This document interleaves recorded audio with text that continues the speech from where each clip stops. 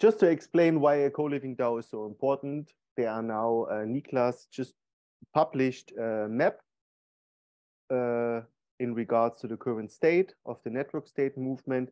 And I saw like five um, projects who want to be a co-living DAO, basically, in this direction. And it's really needed because we need physical outlets. So cloud first, territory last.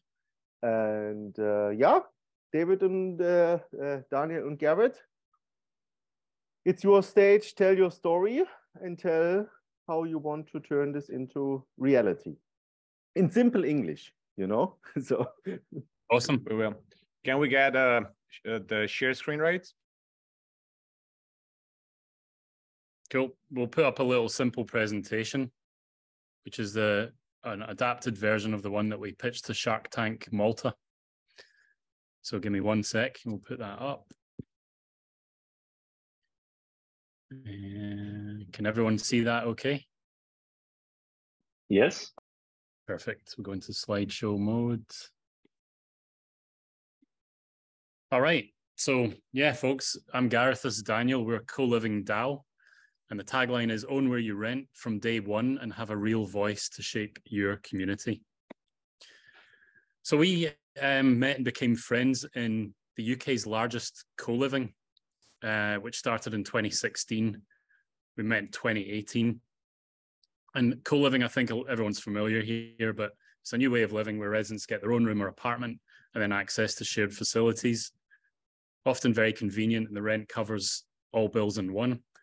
And it's a great way when you're moving to a big city like London um, to meet like-minded people and create long-lasting bonds. The downside, obviously, is that after a few years of living there, we both lived there for a few years each. We, we owned nothing, and we paid rent every single month. And the co-living operator, the landlord, really pursued their own agenda, and causing a lot of dissatisfaction in the community. And we can tell you a hundred stories about all the weird things that happened with mismanagement and strange management decisions to really fracture and, and prevent the community from becoming a really valuable place where people love to live. So we, we always had fun chats about, you know, there must be a better way to do this. And actually, both of us were working in two different technology or innovation areas. I was working in governance innovation. Daniel was working in finance, DeFi, crypto innovation. And when we got chatting, we realized that the solution might be actually a hybrid of both of them. So that was pretty exciting moment. Yeah. So the reason this is coming about is, uh, first of all, we noticed there's a, a global housing supply crisis, and uh, the price is just going up uh, a lot, and a lot of people are no longer able to be homeowners. Uh, at the same time, we see that there are these uh, aspirations of individual, individualistic living right now in the world, and it's destroying communities, it's destroying the ecosystems as well. It's a problem for the people, it's a problem for the environment. Uh, and I do see many system changers that are trying to find new ways uh, to arrange community living. Uh, but it's not very easy to scale the models. I see models here and there, but no one has found really a way to scale the creation of uh, communities uh, so we need a, a better way uh, to have property ownership and a better way to uh, or organize regenerative community living. Now, the, the main problem for regenerative co-living communities is, first of all, the traditional ownership and governance systems don't give any voice to the residents. So there is dissatisfaction amongst people. There is a uh, there, there is a lack of belonging as well in that sense. Uh, also, yeah, the systems that people have used, uh, some systems work better than others, but no one has come up with something that can scale very well. For operators, uh, it's also a problem. The current existing uh, rental, purely on a rental basis co-living model is a problem because there's no ownership and uh, the resident turnover is very high and the maintenance can be uh, very costly. Sales marketing can be very costly. So our solution is a software platform uh, for regenerative communities and for co-living operators uh, that enables residents uh, to effectively receive shares with each monthly payments. Uh, these shares also give them a, a voice to shape their community. So they're getting ownership and they're getting governance. Uh, the decision to use blockchain is because these shares need to be very easy to transact with. So buy, sell, issue. That's why we use a Web3 blockchain. And the benefits are very obvious. First of all, uh, communities can have a blueprint that is a uh, turnkey, ready to go. Whenever a group of people or even one leader wants to create a community, they have a, a blueprint that they can use, uh, which has a multi-stakeholder wealth and governance sharing. Uh, traditional co-living operators will reduce turnover costs, marketing costs, sales costs, maintenance, and increase the revenue. Uh, and co-living residents, they own the place they live from uh, from day one, and they have a true voice in shaping their community. So um, the blueprint that's ready to go is unique out there because it's a scalable blueprint. So it's not just applying to one. Like there's loads of people trying to make eco villages and you know the future of living, regenerative housing, living out in the countryside or in cities and doing it a different way. And those those models quite often are amazing and innovative, but they're not scalable. So co-living DAO is a scalable blueprint for multiple co-livings or regenerative communities, depending on how you describe it. Um, and this works with co-living DAO as an enabler company, which creates and holds the co-living DAO software on Web3.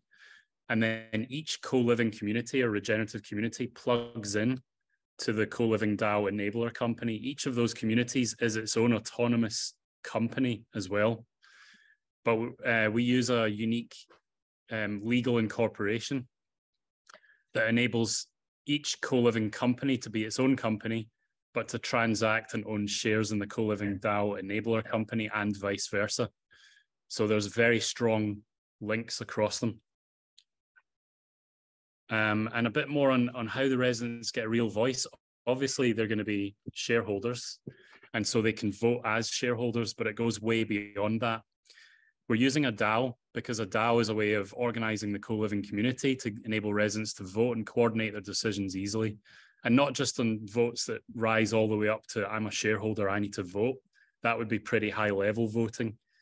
But you can also vote at much lower decision levels within a DAO to organize a community like, hey, guys, what do we want on Saturday afternoon? Do we, do we want yoga or do we want a comedian to come in? That doesn't need to be a shareholder vote, right? it can go down to a lower decision making protocol layer. It doesn't even need to be on the DAO necessarily, but the DAO would enable it to go to a, a residence vote or a, a multi-stakeholder vote if it was needed. So a de this the key difference here is that a decentralized community requires a decentralized multi-stakeholder company and corporation. You need both. You need to make sure residents have legally protected voting rights and voting power and the company and corporation must be compatible with a DAO. We've seen that in the crypto world in particular is a decentralized world kind of in name, but often the companies that control crypto are actually centralized entities and they have a centralized point of failure. This is a way to remove a centralized point of failure to make this a tr truly scalable decentralized solution. Um, we use a fair shares commons company structure, which is a legal incorporation built on 150 years of cooperative wisdom. It is basically a co-op, but it's been enhanced um, by some leading thinkers, a guy from uh, Sheffield University, Rory Ridley Duff, Professor Rory Ridley Duff, and Graham Boyd, who is um, a kind of visionary pioneer who is looking how do we build the paradigm shift to regenerative society type of thinking. So they came together and they enhanced the co-op. So this is a recognized legal entity built on cooperative law. The key benefit here is that it's not only investors that benefit, all primary stakeholders benefit in the wealth that's generated and they have a voice. The, for me, my motivation here is really on the environmental side as well as the people side. And when you have multi-stakeholder power that's truly decentralized, you can um, share decision making and pro and uh, wealth sharing, and legally embed incentives to regenerate the well-being of people, natural ecosystems, and make money at the same time. Yeah, the co-living industry is uh, growing. Of course, you all know that very well. So since 2015, uh, it's uh, been growing exponentially. The CAGR for co-living is estimated from on the low end, let's say 11%, on the high end, even all the way up to 30%. And uh, there's uh, in, in UK alone, for example, they estimate 725,000 people in the core target market, and that's purely on the rental basis. So it's going to be even higher once uh, we add the um, ownership basis as well. So definitely the industry is uh, where capital is flowing as well in terms of investment too. And uh, what we're building is a it's a platform. Effectively, uh, it's a SaaS platform, so it's going to be software, uh, and we have uh, multiple features that allow successful management of the co-living space for residents, for for the managers, for investors, and for partners. So they all have their own user account that they can all use the platform to do things such as, for example, buying and selling shares, uh, paying securely, um, um, receiving rental yield automatically, receiving dividends automatically, uh, getting rent reduction through uh, token locking, getting discounts for token locking, and so on. So the share governance can happen on the on the platform as well. Uh, we have a mock-ups of what the the platform the, the platform can look like.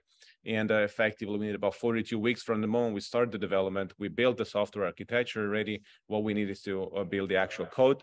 Uh, so from the moment we start the development, we estimate about 42 weeks uh, to be ready to go. So I guess, guys, Daniel, go. We can we can continue. We've got other detail here, but I mean, we've given you the basic flavor. So we can stop there and go into a Q&A if that if that makes sense, or we can keep going. Up to you. No, I think Q&A makes sense. No, Severin, because I think we are all experts here. We understood uh, what you're trying to do. So now it's time to take it apart and discuss it. I can only share my story. Um, I was born in East Germany, and my father was the head of is still the head of the biggest housing cooperative in Germany we have 30,000 apartments and they managed to take this idealistic uh, socialist idea of co-owned property and transferred it over into a capitalist market. And this is existing now since 32 years. They are the cheapest, they are the best. And you own a share of this cooperative. So it's definitely uh, possible. It's working since 30 years. Um, and I think we can roll it out to the whole world, you know, using a DAO. Ah, okay.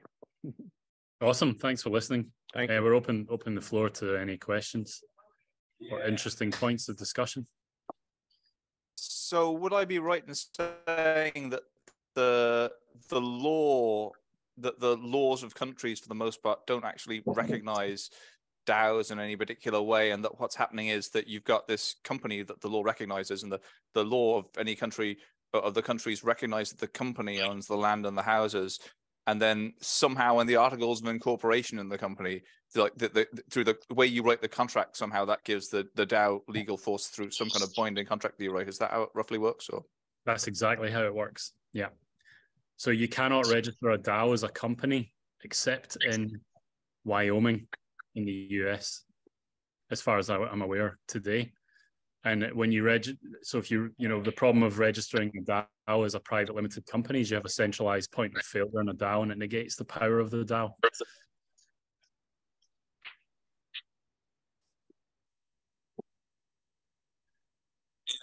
Yeah, I sort of, uh, I, I, guess, uh, I, I, guess uh, the technical uh, mechanism for writing the articles of incorporation that transfer that, that, give the DAO kind of power through some kind of contract in, in when the articles of incorporation of a company are quite complicated to actually like explain in full. Yeah, that's why we're leaning on the brains of others who created the Fair Shares Commons, which is a ready to go decentralized structure. Um, with you know 10 years of thinking behind it so it's kind of plug and play. We just what we need to do though is we need to customize the DAO to fit with the legal incorporation structure to make sure that the two are completely interconnected. Which is why it needs to be a custom software build. That's one of the primary reasons.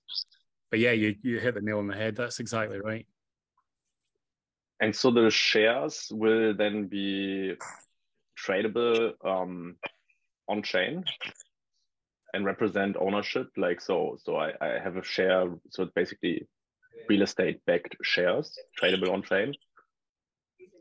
Yes, exactly. So they're not uh, directly real estate shares; they're uh, company shares, and the company owns the real estate. There is a little bit of room to play with this because we'll have to comply with the local regulations regarding property. so it might slightly differ in in each country, but the the uh, standard idea. So whenever it's allowed to do so, the shares are the company shares, and because the share owns the property, people have exposure to the value of the property.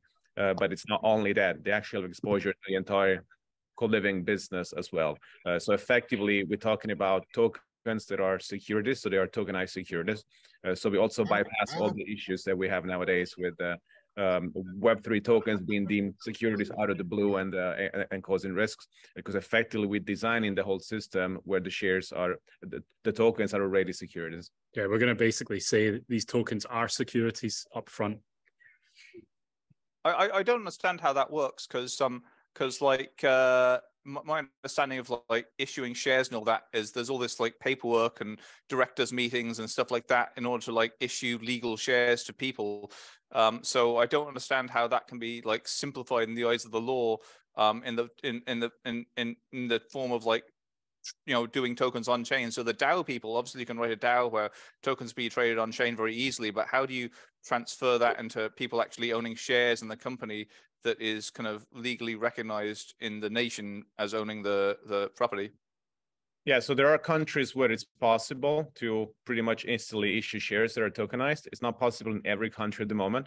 So part of the work we're doing is to find a legal framework where it, it can be done pretty much everywhere or at least in uh, in uh, most countries gradually will expand to more and more countries. So in certain countries you can do it already. Uh, in other countries we might have to go through different countries and maybe register part of the entity, let, us say one entity in one country, one entity in another country, and find the actual structure. Ultimately, we, we hope to be able to do it everywhere, but surely we'll be starting from the places where it's possible. And uh, the direction that the world is taking as well is uh, uh, things are going to get simplified. Many countries that didn't allow simple um, shares issuance in the past, they do allow it now.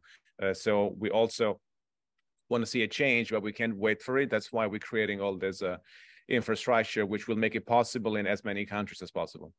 I'd be really interested if you could, uh, if you had a PowerPoint slide. If you want to give any future presentations about it, one thing that I'd be interested in is would be to see a slide with all the countries where it's uh, where where issuing kind of shares automatically is is legal because that sounds like it's really uh, it's it's really kind of fundamental to to making these DAO things work smoothly. Okay. Thank yeah, you. I think, uh, so, sorry, I think uh, I'm going to interject here so we can move on to the next talk and then we have a little bit of discussion uh, once we've had everything. Okay. Sounds good. Awesome. Thank you very much, guys. Thank you. Thank you.